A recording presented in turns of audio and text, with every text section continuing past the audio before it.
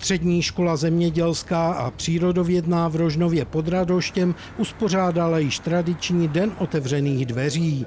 Prohlídka školy byla zpestřena ukázkami živých zvířat a představením mimoškolních aktivit studentů.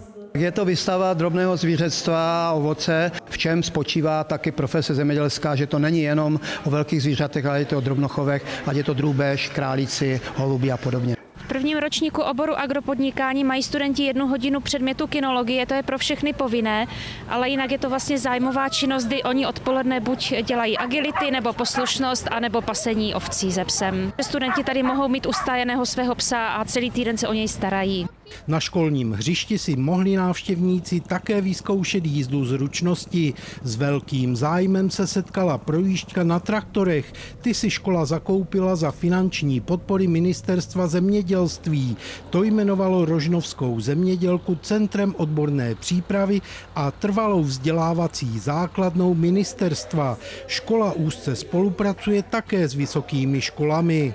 My si tím, že tady prezentujeme, co se u nás dá studovat, co navazuje na studijní obor na tady této zemědělské škole, tak si tím v podstatě pojistíme přísun kvalitních studentů. Mohou jezdit eh, za námi na naši univerzitu, eh, absolvují tam různé kurzy, které pro ně vytváříme. Při prohlídce školy nechyběla ani ukázka práce v cvičné kuchyni a představení činnosti včelařského kroužku. My jsme zpracovávali v rámci praxe třetích ročníků agropodnikání biomléko z místní farmy. Návštěvníci mají možnost ochutnat náš jogurt, naší rikotu, naše síry čerstvé. Už několik let pracuješ v včelařský kroužek při naší škole, který byl zahájený v rámci projektu eh, Centra vzdělávání a pokračuje to následně dál. Pro příští školní rok jsme se rozhodli eh, nabídnout a otevřít učební obor zkráceného studia jednoletého dvouletého oboru včelář. Bude to pro absolventy učňovských oborů a absolventy maturitních oborů. Rožnovská škola je jedinou v republice, která zkrácený obor včelař nabízí. Zájem o práci ve školním včelařském kroužku je mezi studenty velký.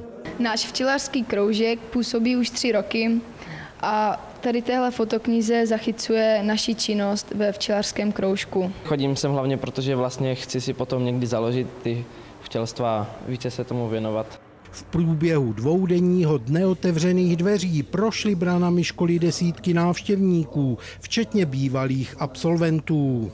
V této škole mám vřelý vztah, moc mě bavila, měli jsme vynikající kolektiv, praxe úžasné. Den otevřených dveří byl doplněn ukázkami výrobků od prodejců regionálních potravin.